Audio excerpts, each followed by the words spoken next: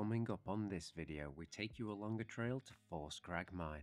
The fog covers the land and we explore the area. Enjoy this journey and stay till the end for bloopers and funny moments. This can be a very casual walk to explore the mines, or you can go up to the pike and the views from above to make it an adventure, if not a little bit more demanding.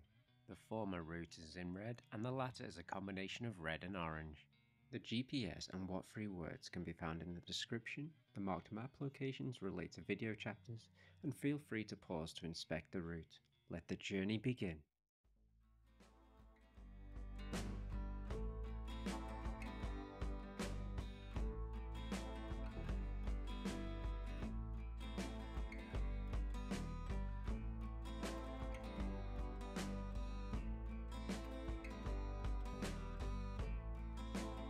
Start of the journey is a nice incline stroll with a breathtaking view all around you.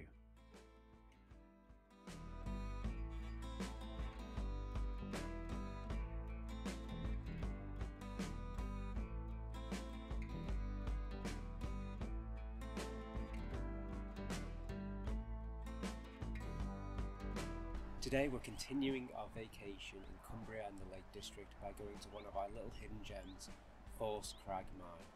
It starts off with a little incline and then about two mile flat hike towards the mine and into the hillside with all the views to see along the way.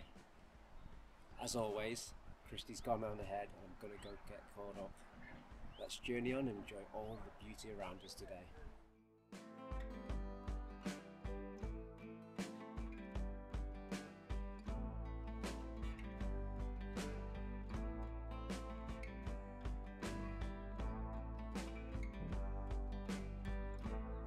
This is a lovely hike and not too difficult.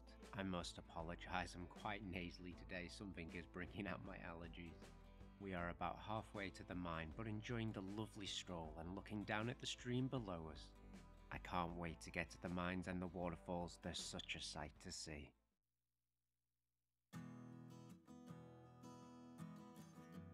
Today's journey really emphasises the beauty in this land, the winding stream in the valley, the fog covering the hills, all with these makeshift benches darted around for you to take in the sights.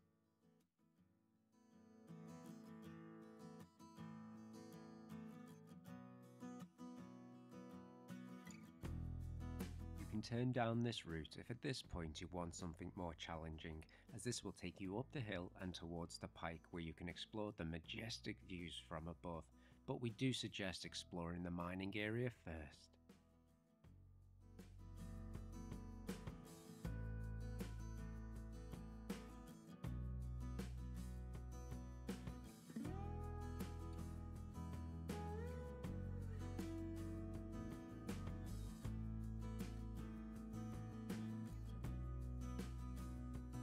Force Crag Mine was the last working metal mine in the Lake District prior to its final abandonment in 1991. The outside of the structure is safe to explore, but watch your step when going around as the rocks can be rather slippy. The buildings that you can see today were built in 1908 and redesigned in 1939.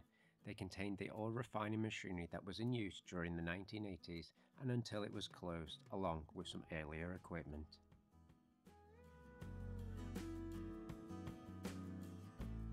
Mine shafts have been sealed for safety, but we couldn't help ourselves having a little exploration.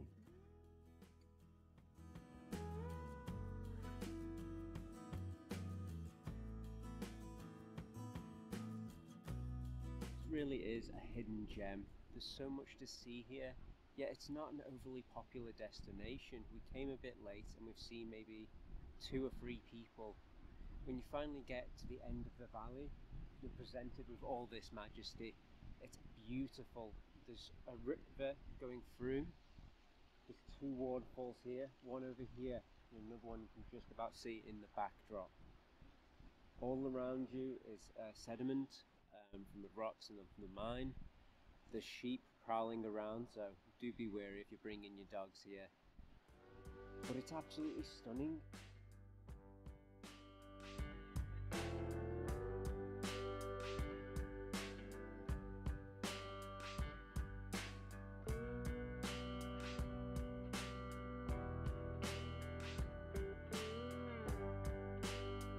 Finished off our day with exploring the waterfalls, but sadly this was cut short as the heavens opened up and we made our quick escape back through the land and to our car.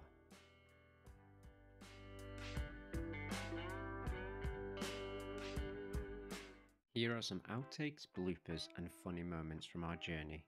Don't take life too serious, we don't, and nor does Valo.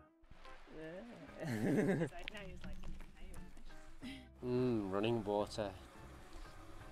Yeah, I'm stood right next to a drain. Nice. I think my leg's dead. Alright. Let's journey on. Eh, eh, eh. Whee, trip number one. Yeah, drop the lead. We really appreciate you staying till the end. Consider liking this video and checking out our other content. If you want to see future content, consider subscribing and checking out Valo's Instagram, details are in the description. I hope you enjoyed this journey. Why not check out these? All the best on your journey, and until the next video, goodbye now.